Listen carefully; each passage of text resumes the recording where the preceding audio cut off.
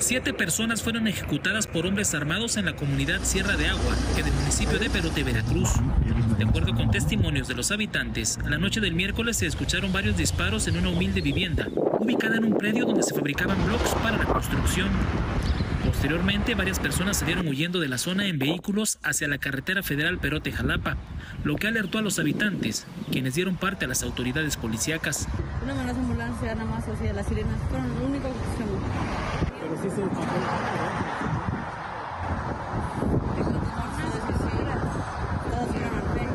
Al llegar al lugar, patrullas de seguridad pública y policía municipal encontraron en el predio de la vivienda siete cuerpos que habían sido acribillados a disparos. De las víctimas, cuatro fueron identificadas como integrantes de una misma familia, entre ellos una mujer, y tres están en calidad de desconocidos. En el lugar del multihomicidio, una humilde vivienda ubicada a un costado de la carretera federal, solo quedan los rastros de violencia, mientras el área permanece acordonada. Pedro Morales Luis, Noticias N.